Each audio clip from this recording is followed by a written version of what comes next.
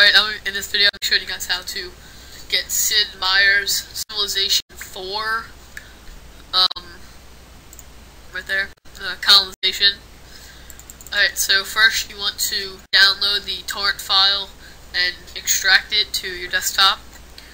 And then you want to use whatever you use to mount your images. You want to mount it uh, right there. Once it's mounted, open my computer, double click on it, mine installed, so.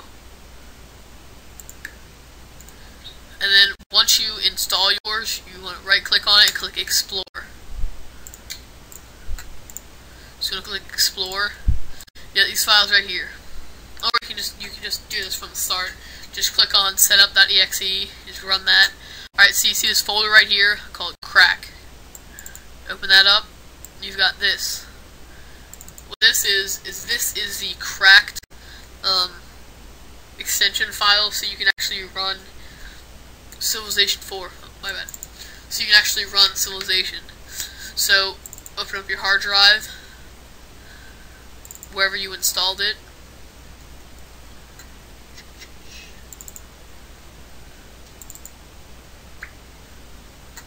Uh, that's wrong civilization.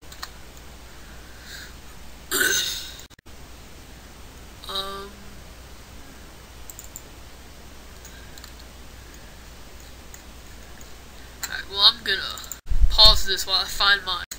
Alright, so I, I found it. Alright, it's under in your programs file or wherever you installed it. It's 2K Games, Firaxis Games, and then Sid Meier's Civilization. So you, you see colonization.exe, and then in here you have the same exact file. Just drag and drop that in. You notice that this one is larger, the one you're dragging and dropping. Just click copy and paste do that. And now I'm just going to create a shortcut on my desktop.